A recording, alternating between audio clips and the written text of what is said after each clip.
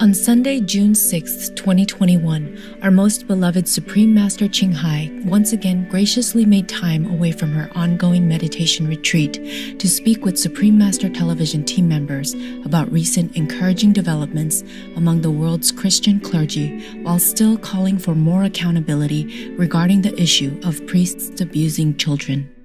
I read it in the news. It's, it's a little bit more progressing now so I read yesterday and the day before the, the head of the Church of England, Yes, Master. Yes, Master. Reverend Welby, apologized to some of the victims of the abuse from the Church of England. Yeah, maybe you saw it. Any of you? You saw it, yeah? Yes, Master. Good, good, good. Yes. And then also the head of the Catholic Church in Germany wrote a letter asked the Pope to let him resign Yes. because he say he's too ashamed. Like he feels guilty if he keeps being silent or doing nothing, meaning he condones that. And he realized that because of trying to protect the, the honor of the church, you know, the reputation of the church, and he ignored this uh, problem. And he feels like a collective guilt or something like that. Yeah. Yes, Master. I think maybe some of you have read that. Yes. Yes. Es geht für mich im Kern darum, auch Mitverantwortung zu übernehmen für das, was in der Kirche geschehen ist. Im Raum der Kirche, die ein Raum der Heilung sein soll, der Hoffnung sein soll, der Zuversicht sein soll. Es geht also darum, das eine zu sehen, das individuelle Versagen einzelner Amtsträger, aber die Fixierung allein auf die Amtsträger ist zu wenig, das ist notwendig und das wird auch kommen, auch in anderen Bistümern, auch bei uns. Aber auch die institutionelle Verantwortung, die Verantwortung für die Institution selber. Ich glaube fest an eine neue Epoche des Christentums. Da ist für mich keine Frage. Aber das wird nur geschehen oder es wird besser geschehen, wenn die Kirche sich erneuert und wenn sie aus dieser Krise auch lernt. Ich bin überzeugt, dass diese Gesellschaft die Stimme des Evangeliums braucht, aber dafür braucht es auch eine Kirche, die sich immer wieder erneuert und versucht, Actually, our work does bear some fruit. It's not as much as I want, but it, it does make some waves. It does stir up something, yeah? The Church of England is very big. It's almost equal to the Vatican. Yes, Master. It's not belonging to Catholic or anything. It's just independent by themselves. So two of the big uh, church leaders have apologized. And, and the cardinal, he wanted to resign because of this shameful. So much, so much abuse. Yeah, only a couple of, of countries reported. Many other countries did not report. But it doesn't mean it did not happen. Okay? This is evil in, in the house of the Lord. Truly like that. They're doing something. At least to show that they have some some shame, some decency to admit and to do something in their own capacity at least. Ah, but it's too little, too late. He even say that the church has reached a dead end even. Believe that? Uh, that's the German people. They don't beat around the bush. When they say something, they mean it. So the Catholic Church has the collective responsibility and guilt. And then the church has reached a dead end. That's what he wrote to the, the Pope. I wonder how it comes out into the public. Maybe he put it in the social media or something also. Not just uh, send it to the Pope alone. His name is Cardinal Reinhard, and the head of the Church of England is uh, Mr. the Archbishop Welby. Uh, he apologized to abuse victims. Oh, my, what's the use of just apologizing? They kept nourishing it all this time, ignoring it and condoning it silently or by being silent, it's almost like you accept it. Just because if they have less cardinals or less priests, that means they have less power. So they cling on to all this and to, to protect the church's reputation. And they ignore the suffering of the little children who are so helpless and so frightened in that kind of situation again and again. You know, it's not just one time, two times. And it doesn't matter how many times. It's disgusting. Yeah. Yes, Master. It's evil. It's evil. They're only little children, some as young as 13 or something even. My God, how evil can it be?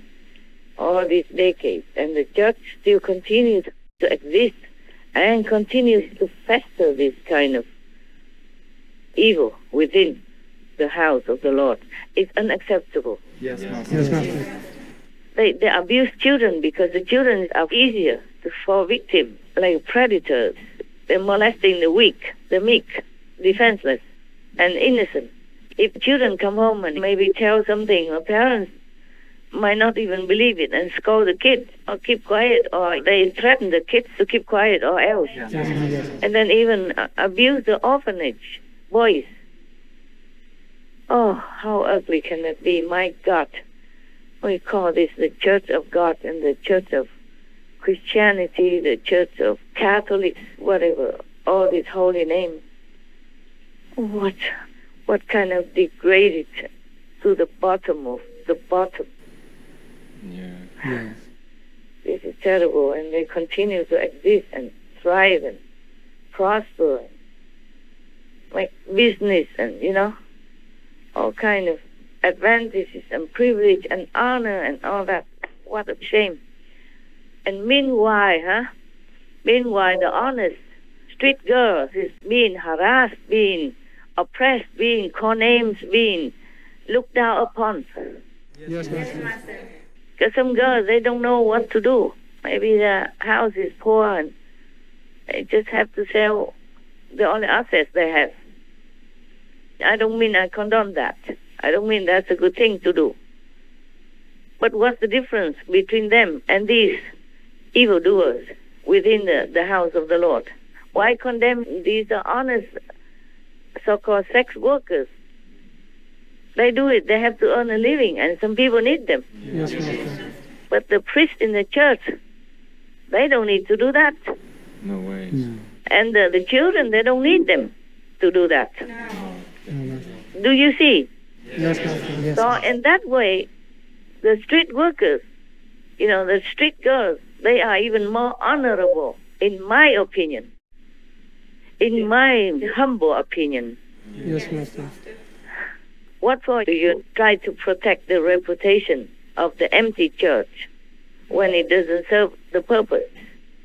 The church is for the people, not the people for the church. Yes, Master. The church is to protect people, morals, virtues, and faith. Morals and virtues to live in the society, to harmonize with all beings. And faith is to remember and worship God. The church doesn't serve any of that if they continue doing this kind of evil deed and, and, and harming the little innocent children, helpless, defenseless children. Do you hear what I'm saying? Yes, Master. So what for does the church exist if they don't function the way they should function? Just repeating the, Bible and singing uh, psalms or whatever every day like that. What's the use of that? Huh? Yes. when a cup is dirty, how would you like to pour elixir into it? Or beautiful drink into that? And how will you drink it? It's still filthy, no? Yeah. Yes, I respect these two church leaders very much. The Reverend Head of the Church of England and the Reverend Head of the German Catholic Church. I respect them very much. At least they're decent enough to apologize. But that's not enough for me. That's not enough to make up for all the traumatic and hurtful and, and, and painful feelings of all these thousands or tens of thousands of children and more that are not discovered. Not making up for it ever, never. Yes, Master. And too little, too late also. But at least they did something for their conscience, for themselves. At least not condoning the continuing evil practice, at least not to try to cover up. If a cancer is already oozing out of the body, no matter what kind of beautiful clothes you cover it with, it's still a cancer inside. Yes. Yes, Master. It's not just within the body, it's already oozed out onto the skin already. And the smell is so, uh, what shall I say? So foul, huh? Yes. Yes, Master. So repugnant already. And still try to cover with uh, brocade, beautiful silk and silk and satin and chiffon and whatever most expensive dress you can wear. What's the use of that, huh? Yeah. Yeah. Any ordinary person, even with very little wit and minimal intelligence, still can understand that it is not acceptable, it's not pardonable. That's right. Yeah. It's not to condone and to continue at the cost of other little children in the past, present, and in the future. I'm so angry. I told you I'm an angry master. Yeah. When it comes to the animals and the children, because they're the most helpless, most vulnerable. Yes, Master. I could not do the uh, video conference today. I almost could not do it, even by the phone. But I had to. I had to talk to you about this, so that you can understand more why I am angry. Okay, Yes, Master. Yes, Master. and why these things are the cancer of the society, of the world, the big world, big cancer, big, big, big, big, ugly, filthy cancer that has to be cut off. Otherwise, it infects the whole world. And nobody will believe in the teaching of Jesus if it continues this way. There will be more harm done. Do you understand? Yes, Master. To deny a cancer is to not seek the cure and not try to heal it. So they have to do something more obvious than this, more obvious than just here and there a little bit, here and there and all that, and just promising and doing nothing all these years, all these decades already. And how many more tens of thousands of children, little boys, little girls have to suffer until they open their mouth and do something. I was groomed starting young. The day I met him, I was I was around 18 months old. They targeted me because I was fatherless. I was in my diaper and I ran out and ran right to him. We, we were taught, I mean, the priests and the nuns are God. Just think like the word God makes me think of him, and I just You're being groomed to get used to uh, a grown man's hands, you know, on you regularly. so he would always have his hands on me. When you have the priest um, touching you every day, you know, that's a hard memory to, uh, to have. And the church covered it up. Who would have believed me? A priest in 1948 or 47 would abuse you? Would do that? Never heard of such a thing because they covered it up. it doesn't ever go away. It, it has an effect on you for the rest of your life. These are people that these priests ruined their lives, and they still, at 83 years old, still affects him. I just feel like I've like my whole life has been a lie. Has has absolutely destroyed me. My children suffered. My wife suffered. I couldn't show any affection with my wife. I had no desire to have children. None because of this. My ch- children I couldn't hold or hug. I didn't feel comfortable at all. I still don't feel comfortable now in relationships.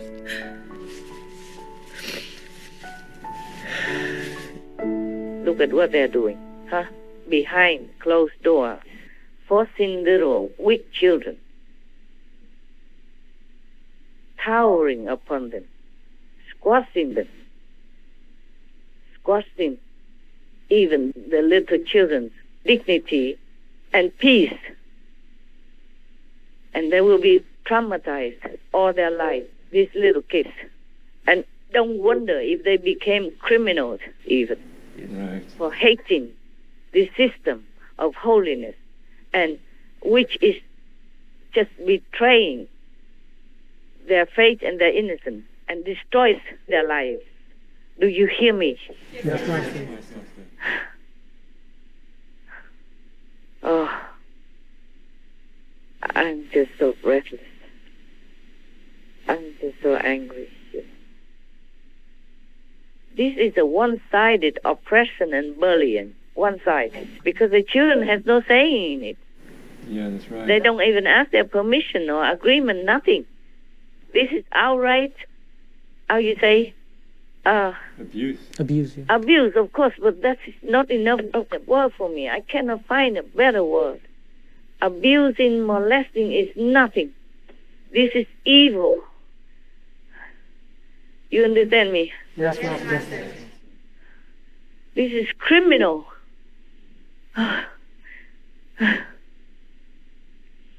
okay, so I'm feeling a little better. Yeah, so at least something is moving. That's what I want to tell you. Okay? In case you did not read the news. I haven't read for a long time, but now and then I also read a little bit. Just the headlines on my phone. Also, the Irish government apologized after inquiring fines. It was in that church uh, articles, and I did not have time to read all that. Of course, a long time ago, some church in America also apologized You know, did something, but too little, Yes, Master. too little. Yes. I wonder why the law doesn't do anything also, because if normal men outside are molesting children, they put them in jail. Yes. Yeah. And here we have the church, the reverends of all the reverends, the holy of all the holy, walking tall, talking big, cashing in, you know, living in comfort, and doing this kind of thing to the children. And the law also does nothing. Don't you feel is this weird, strange, Yes. Unacceptable, Yeah. unacceptable? How come they still walking tall, talking big, and lifting their heads up, and revered by other people? I don't understand this society. Do you? No, Master. What are the governments doing? And what are the churches there for? Huh? Such bad, filthy, foul examples. And continue. And nobody does anything. Just a little bit here and there and then sweep it under the carpet, no? Yeah. So the law is not just at all. No wonder many citizens don't abide by the law because it's not serving justice. And no wonder many people left the church because they don't believe in the, the representative of the church anymore. And I hope they don't leave God. I hope they just leave the church, but not leave the Lord in their hearts Yes, because the priest should be a good example. Why molesting and harassing or oppressing and abusing and killing little innocent children like that? I thought I read somewhere also that there are mass graves that they discovered somewhere. In Canada, Master. Did this happen, right? Yes, Oh. Master. Oh my God! So that that means it could be also abusing and killing. Yes. Sometimes children just disappear. Nobody can even find them. So all this in front of the law. And uh, uh, the goddess of justice is blindfolded. And the scale of justice is tipping on one side only. For the weak, the meek, the, the powerless, and the helpless, innocent children, there is no law for them. But for the powerful church, the law is for them. That's what I see. And that's not acceptable. Not ever. Never. Oh, I hate all this. I I sometimes lost sleep over this, thinking how frightened the children must have been, or must be, or will be in this kind of case. You know, in the corner, in the dark somewhere, they did anything they want with them, and there's no one there to defend them, to protect them, to do anything for them at all. Imagine if it's you. Yes, Master. Imagine if it's you. I can talk about this forever. But I think I talk enough. Anything you want to add? Master, Yes. what can people do? Because it's been happening for so long, and every now and then there's an apology, but they don't do anything. And I want to know if there's anything that the people can do to stop have, this. Yeah, they have to. They have to file complaints to the law. They have to stand up for their own children, or the children themselves must say it. But it's risky for them. The children are afraid Yes, yes, Master. because the children know these people are very powerful. They could kill them. They must have threatened them to be quiet. If some children scream or maybe threaten to go and tell the parents, maybe they just silence them, kill them. Yes, Master. So, so many cases never come to light. I'm sure there are tens of thousands or hundreds of thousands more in many remote corners of the world. Many corners of the world, there are churches everywhere, and there are priests everywhere. Priests are very important for the people because they look up to them, especially the children. They are vulnerable, impressionable, easy to teach them, good or bad. Okay, all right. Something is moving, at least very slow, but something is moving. I like the German priest. At least he's honest, Yes, yes, Master. and he realized it now. He realized that by trying to protect the reputation of the church, he is partaking in this collective guilt, and he realized it's no good. Uh, now there's another news. Uh, there was one, and the other news is about Mr. Cuomo, governor of New York. Cuomo, remember? Mr. Yes, He was uh, uh, accused of sexual harassment. Yes. And uh, even uh, COVID uh, cover up, yeah?